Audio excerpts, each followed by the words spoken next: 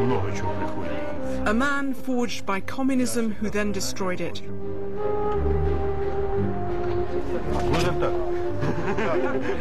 An enemy of the West welcomed as a friend. 20 years since he helped to transform the world, Mikhail Gorbachev tells his story. In this first of two programs, the untold tale of his rise to power. Фотографировать глаза тебя только так. If we take a photograph with you, it'll only get up to here, to your shoulder, because I'm shorter than you. Он отсюда. Политика перестройки. Perestroika did win. Потому что демократия прошла, We got democracy, we got freedom of speech, and political pluralism, политический плюрализм пришел. Ну, в конце концов, and we managed to end the Cold War.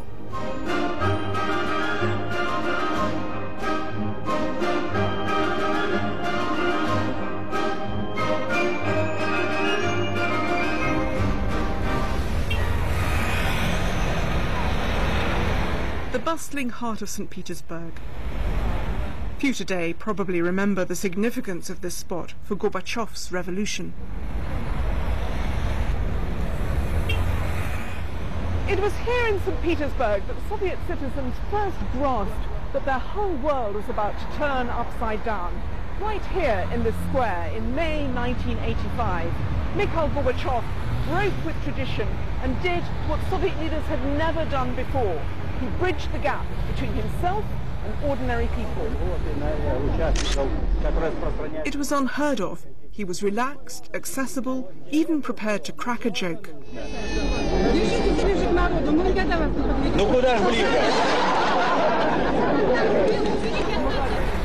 The television pictures electrified the country. Here was a Kremlin leader, all right, a bit more energetic than those who'd come before, but still apparently a loyal communist who'd come up through the ranks.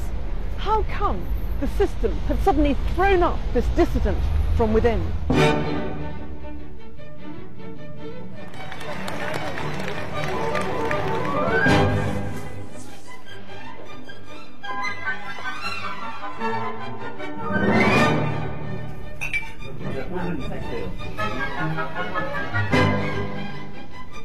Gorbachev started out a typical product of the Soviet system. His childhood was spent here in Privolny, a sleepy village in southern Russia. His parents were peasants. In the harsh post-war years, he embraced Stalinism without question. I was a loyal citizen, and proof of that is that for my final exams, I chose Stalin as my subject. My theme was Stalin is our glory in the battle, Stalin is the wings of our youth. Это не, ч- не чье-то It's not that someone dragged Gorbachev into the Communist Party, or that my father or grandfather insisted. Not at all. It all came from me. Это то, что возникло у меня.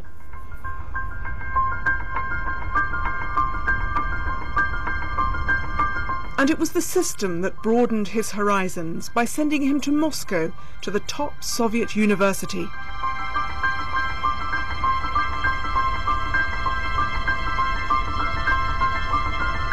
Then Stalin died, a political thaw took hold, and Gorbachev began to rethink his convictions.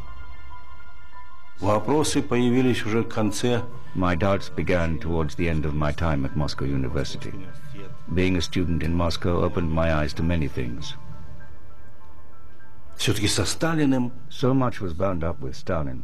Потом, когда я вернулся в- в родной край, When I went back home to southern Russia and went into politics, I began to see how people really had to live, тогда возникают вопросы уже.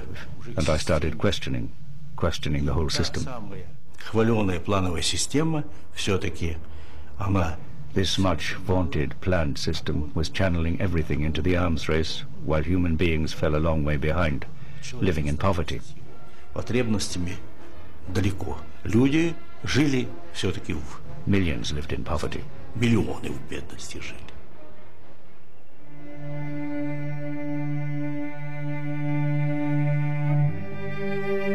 Gorbachev wasn't alone. Critical thinking was in the air. Especially after the Soviet leader Nikita Khrushchev denounced Stalin. He provided the main impetus. There was a new sense of freedom, a feeling that it was time for new ideas. And he was the one to strike the first blow against Stalinism. The reform mood didn't last, but in private, Gorbachev's doubts continued shared above all with his wife Raisa, for nearly 50 years his political confidant, till she died in 1999.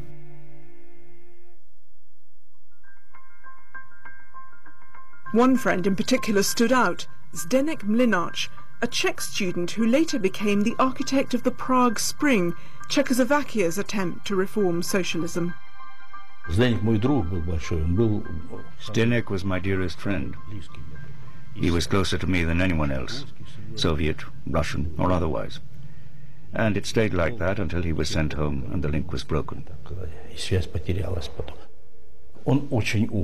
Zdenek was so clever, and it was my luck to be friends with him. Our positions coincided on many things.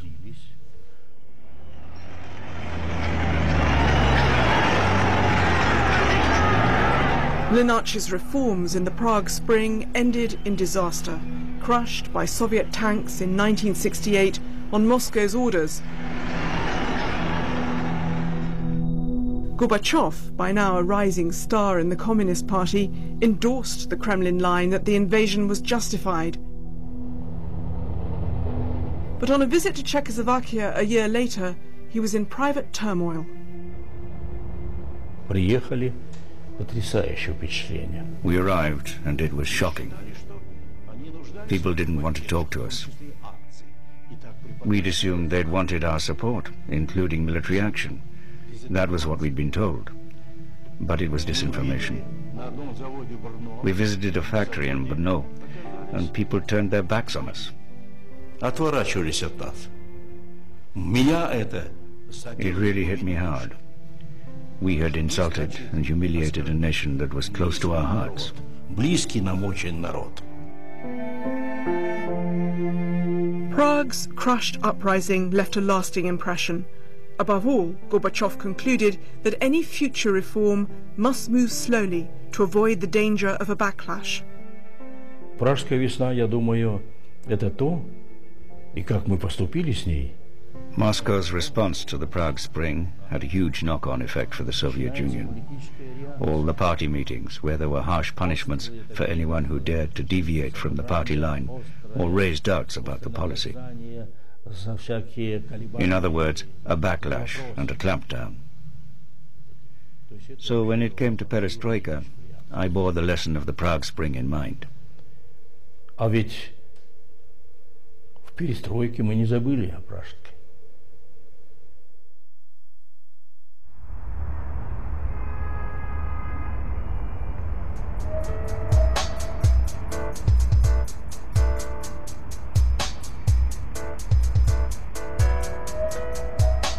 Moscow today is a far cry from the stifling control of the Soviet era.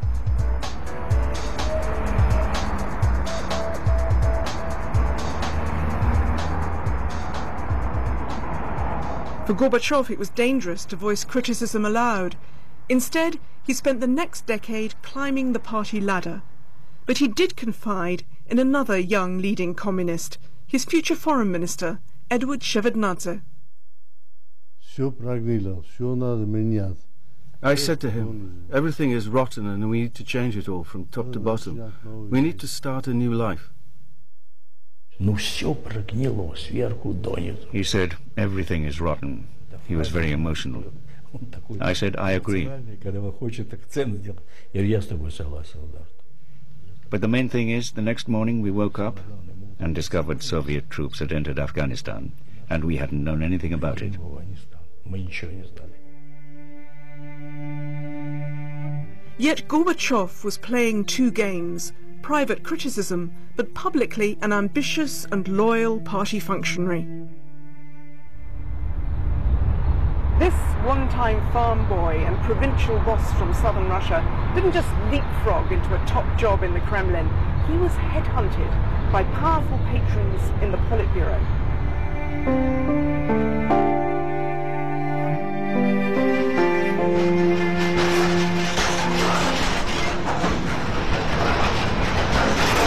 Encounter that sealed his fate was at this railway station where the Soviet leader Leonid Brezhnev was arriving on holiday. Gorbachev, the regional party boss, was asked to welcome him. It turned out to be an informal vetting session.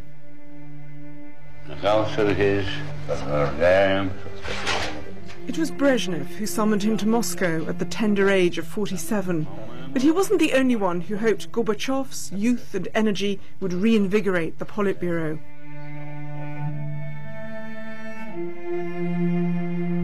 Yuri Andropov, the feared KGB chief, had taken an early interest in him. When he became leader after Brezhnev died, he earmarked him as his successor.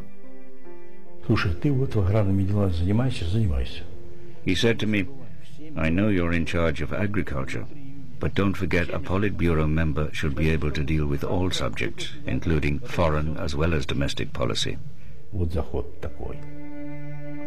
Because who knows what responsibilities might land on your shoulders tomorrow or the day after. And he said, do you understand what I'm saying? I said, yes. And he said, good. Well, off you go then.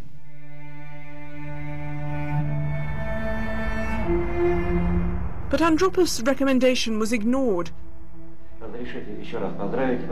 The next Kremlin leader was 73-year-old Konstantin Chernenko, so sick he looked like a living corpse as he tottered through his duties. Those opposed to reform had blocked Gorbachev. He saw it as a blessing, time to strengthen his position.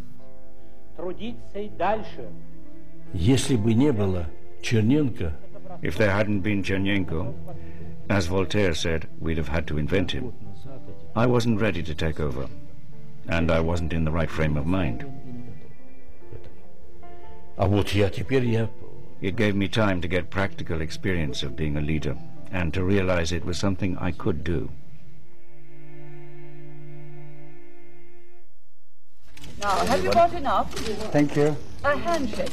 Madam, could we just turn... Could you, one minute, could you just turn and turn about? So I'm left- In London, Mrs. Thatcher may have bossed him and Raisa about, but she also met her match in Gorbachev.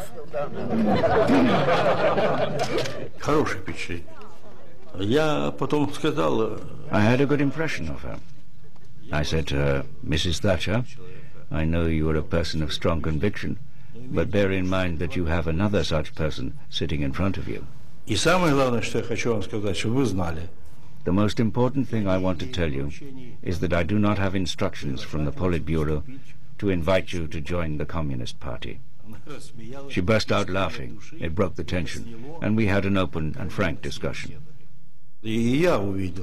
I saw in her someone with a broad and very good education and a breadth of views, but definitely an iron lady. Действительно железная,